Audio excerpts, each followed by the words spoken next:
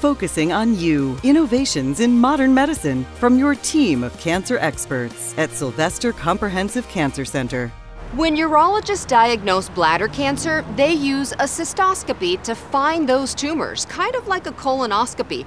But new technology available here at Sylvester Comprehensive Cancer Center improves on that standard using blue light, making it easier for doctors to spot cancer cells and remove them.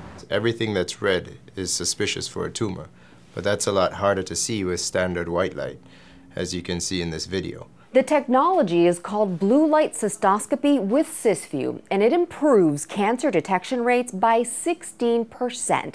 That's a lot of lives saved in a busy academic medical center like this one. Using the blue light technology helps us to be sure that we can detect any kind of tumors that are there. And in addition, if we see it and we resect it, we can be sure that we've gotten all of it. Another thing is sometimes patients have tests that show that there may be a cancer, but they don't actually see a tumor inside. When we use the blue light technology, it helps us to be sure that if there's no fluorescence, then most likely that test may have been a false positive. We're actually the only place in South Florida that offers blue light cystoscopy.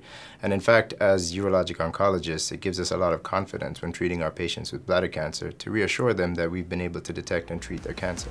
Focusing on You, Innovations in Modern Medicine is sponsored by Sylvester Comprehensive Cancer Center.